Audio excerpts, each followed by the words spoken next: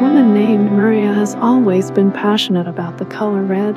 She wore red dresses, wore red lipstick, and even ate only red fruits and vegetables. Her love for the color red began in childhood when her mother bought her a red dress for her birthday. Maria grew up in a small town and was often asked by her friends and acquaintances, Why do you always wear red? She simply replied, I love it.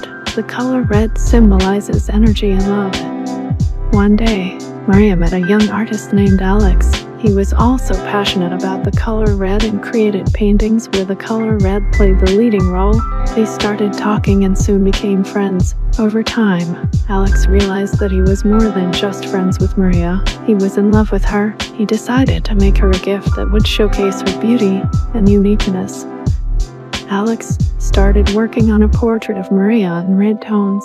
He spent several weeks working on it and when he finished, invited Maria to his studio to show her the result of his work.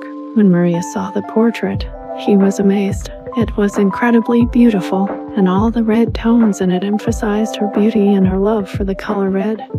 Alex took her hand and said, I know you love the color red, but I'm in love with you not just for that, but for everything else. I like your energy and your love for life. I love you, Maria. If you enjoyed the story and read, hit the like button.